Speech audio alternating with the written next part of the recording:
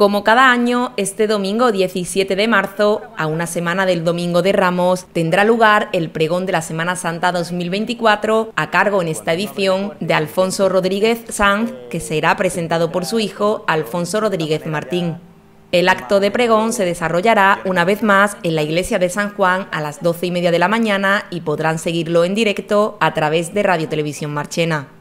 El pasado mes de septiembre, el Consejo de Hermandades y Cofradías de Marchena hacía público el nombramiento por unanimidad de Rodríguez Sanz como pregonero de la Semana Santa de Marchena 2024. Alfonso nació en Marchena hace 55 años, está casado con María del Valle y es padre de tres hijos. Pertenece a la Hermandad de la Santa Veracruz desde cuna. También es hermano de las hermandades de Nuestro Padre Jesús de la Paz y de la Santa Caridad de Marchena, así como de la Hermandad del Santísimo Cristo de Burgos de Sevilla, además de ser asociado del Redir Eucarístico de la Divina Pastora de la Parroquia de San Juan. También es costalero desde hace 37 años, formando parte de varias cuadrillas de Marchena y de Sevilla.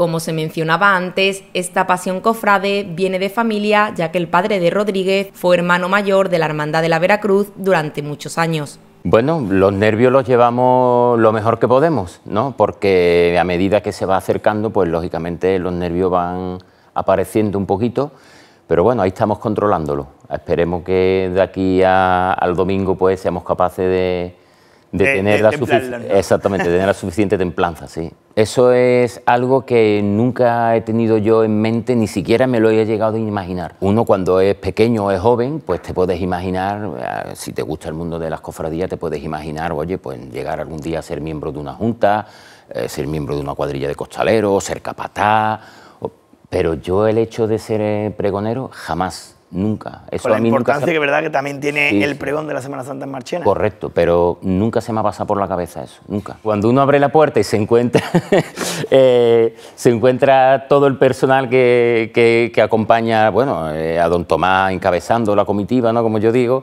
y el presidente del consejo, en fin, eh, las piernas se te ponen un poquito flojas porque tú ya sabes más o menos de qué va la cosa, ¿no?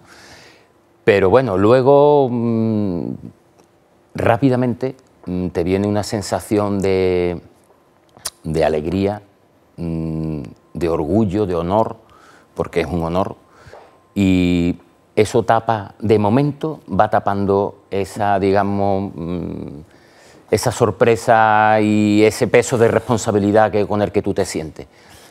Pero una vez que ya se tranquiliza la situación y que, bueno, pues ya se marchan y te quedas tú solo, como yo digo, solo ante tu soledad, pues mm, te viene un peso importante encima y bueno, pues hay que saber digerirlo y eso lleva su, su, tiempo, sus días.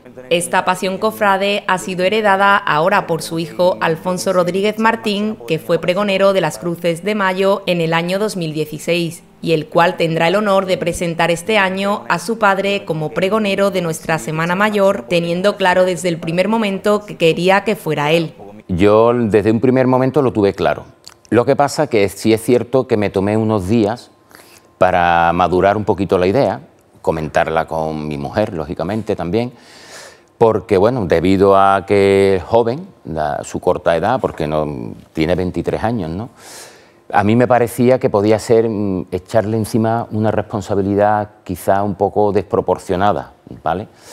Y eso me lo tenía yo que pensar, Alberto, porque tenía claro quién quería que fuera, pero antes de proponérselo tenía que sopesar esos, esos aspectos que te estoy comentando, porque no sabía si lo podía meter en un lío más gordo del que es, por el tema de que es joven, la edad, y yo tampoco quería mm, poner, poner encima suya una responsabilidad excesiva.